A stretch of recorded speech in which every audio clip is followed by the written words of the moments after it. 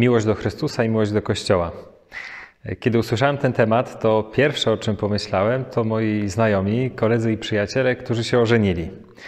Często bywało tak, że te ich przyszłe żony już znałem wcześniej, bo chodziliśmy do tej samej klasy czy szkoły, należeliśmy do tej samej wspólnoty czy parafii, ale nieraz bywało też tak, że były to osoby zupełnie mi nieznane. I wtedy, kiedy pierwszy raz mieliśmy się spotkać, to zawsze byłem pełen ciekawości, kim okaże się ta osoba, co takiego ma w sobie, czym takim zachwycił się w niej ten mój znajomy, że zdecydował się, że spędzi z nią całe swoje życie. Święty Jan w Apokalipsie zostaje zaproszony, by zobaczyć oblubienicę baranka i okazuje się, że jest nią niebieskie Jeruzalem. To Jeruzalem w niebie symbolizuje Kościół. Kościół, który jest oblubienicą baranka. Kościół, który jest ukochaną Jezusa. Wspólnota Kościoła, na którą Jezus cały czas patrzy z miłością i z zachwytem.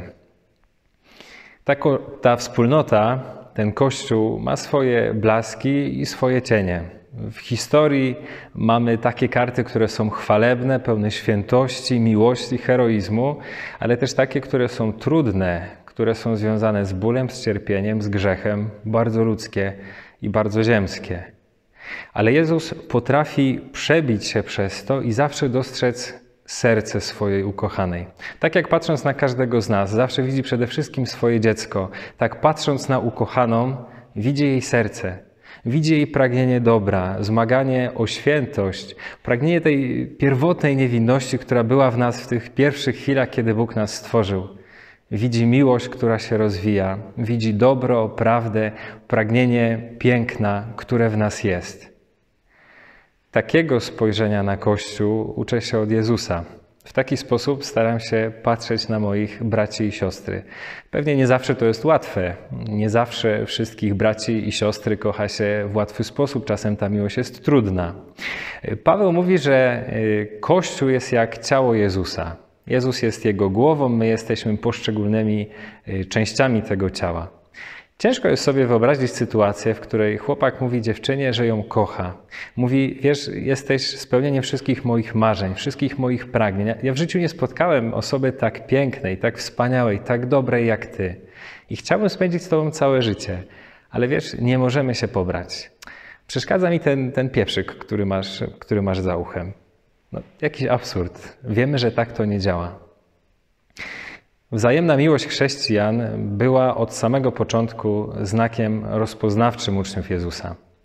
Na przełomie II i III wieku, jak pisze Tertulian, kiedy patrzono na, na chrześcijan, kiedy poganie patrzyli na nas, to mówili: Zobaczcie, jak oni się miłują, zobaczcie, jak oni się kochają.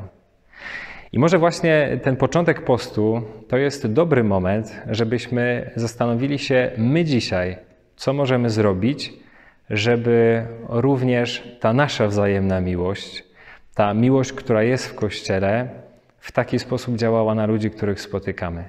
Co ja konkretnie mogę zrobić? W moim domu, w mojej rodzinie, w moim miejscu pracy, wśród moich znajomych, w szkole, na uczelni, co mogę zrobić, aby ludzie rzeczywiście dostrzegli świadectwo miłości, która jest między nami? Co mogę zrobić, by ludzie, których spotkam, zobaczyli to piękno oblubienicy, które cały czas dostrzega w niej Jezus. Co zrobić, by oni również mogli się zachwycić, tak jak On, wspólnotą, do której należy. Odwagi.